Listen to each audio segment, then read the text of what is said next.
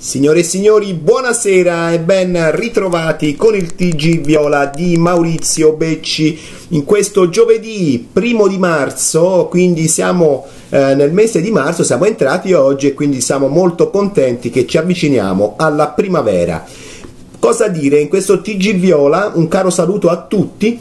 Devo fare iniziare con, un, con la nazionale italiana di calcio. Dopo la sconfitta di ieri 1-0 eh, contro gli Stati Uniti a Genova della nazionale italiana di Prandelli, Prandelli oggi in sala stampa, giustamente a parere mio, eh, è letteralmente esploso contro i critici, contro la stampa e contro chi critica appunto la nazionale italiana.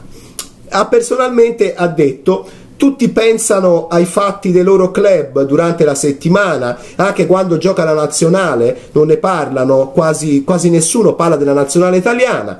Poi, appena gioca la nazionale e perde una partita, il giorno dopo tutti parlano della nazionale pronta a criticarla. Dice io non ci sto a questo gioco, dice sono stanco di queste cose, la nazionale va sostenuta.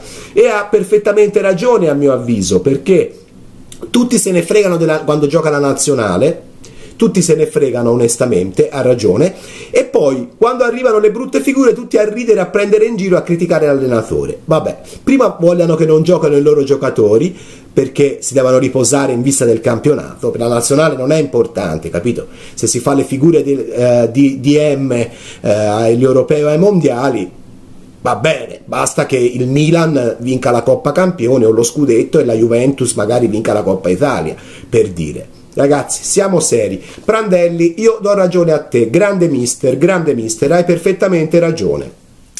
Per quanto passando appunto alle cose della Fiorentina, Domenica Fiorentina-Cesena. Ebbene sì, sembra che una parte o tutta la curva Fiesole è pronta a incitare la squadra però dice ci sarà anche contestazioni, cioè quello che vorrebbero fare i tifosi è contestare eh, la squadra in alcuni momenti, ma anche sostenerla per tutti i 90 minuti. Quindi una, ci sarà un po' di tensione allo stadio, I, i tifosi sono giustamente delusi sia da, dai risultati ovviamente, sia dai giocatori che non rendono come dovrebbero rendere, alcuni appunto eh, sono poco professionisti, è, è vero, e sono arrabbiatissimi come il sottoscritto, arrabbiatissimi con la società della Valle che non si sa più che fine abbia fatto fatto, ragazzi, non rilascia più una dichiarazione fiduciosa. No, tutte le volte che viene intervistato, le poche volte che viene intervistato,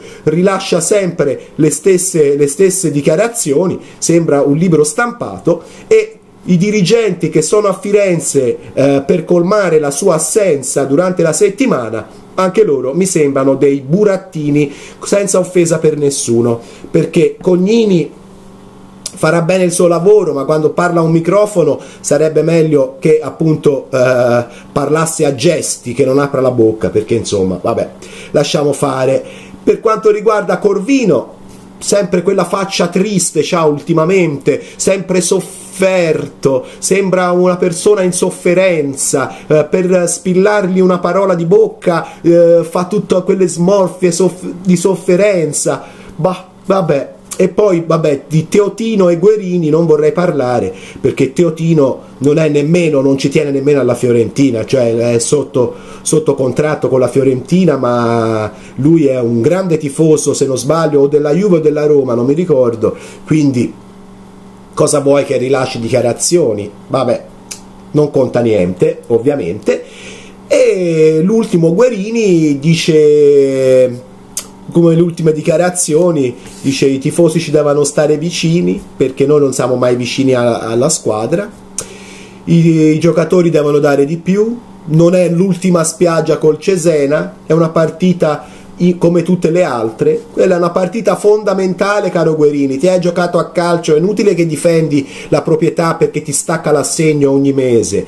Cioè, è una partita che è diventato uno spareggio per la salvezza poteva essere una partita per guadagnare tre punti magari per l'Europa League o per una classifica tranquilla, invece è diventata una spareggio salvezza. Ecco quello che è. Quindi io sono molto in disaccordo con questi personaggi della società che ovviamente difendono la proprietà perché sono stipendiati dalla proprietà, però prendano a volte, mi sembra, in giro noi tifosi e quindi io non li ascolto nemmeno quando leggo solo la prima riga dell'intervista, poi vedo che sono sempre le solite cavolate che dicono, perché non sanno, come un libro, come un disco registrato, no? Sempre le stesse cose, è la stessa cosa, è come un disco che metti sempre replay, replay, replay, dicano sempre le stesse cose e siamo sinceramente stufi di questa situazione. Poi i giocatori in campo ci mettono del suo perché eh, un Vargas che non sta rendendo come dovrebbe, perché i primi due anni a Firenze ha fatto veramente cose incredibili. Poi c'è Montolivo in scadenza di contratto che se ne andrà a giugno, quindi che stimoli potrebbe avere? Boh, non si sa.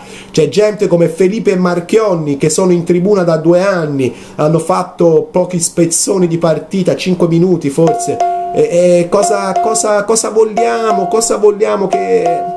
Insomma, vabbè.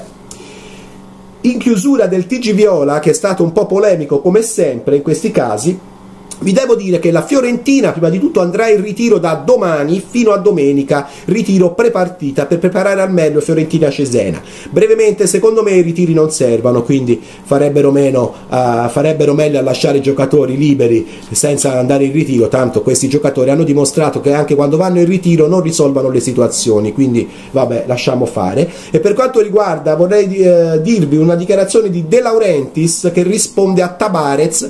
Tabarez aveva suggerito suggerito uh, in un'intervista aveva suggerito a Cavani di andare in Inghilterra o in Spagna per ottenere e vincere le cose le coppe, varie campionati De Laurentiis ha detto seccamente Tabarez pensi alla sua nazionale, si impicci degli affari suoi, Cavani è un giocatore del Napoli e vincerà con il Napoli. Un po', se pensate, mi ricorda la vicenda con Savicevic su Jovetic che suggeriva a Jovetic di andare via da Firenze perché non avrebbe vinto niente, invece a scapito eh, di altre formazioni più forti. Quindi insomma questa gente dovrebbe stare zitta. Io sono d'accordo con De Laurentiis in questo caso, quindi ognuno faccia il suo mestiere, stia zitto non consigli niente perché soprattutto a giocatori sotto contratto pluriennali per una società cosa vai a, a dire queste dichiarazioni? Impicciatevi veramente degli affari vostri. Il TG Viola per stasera è finito, un grazie a tutti di avermi seguito, un bacione a Firenze, bye!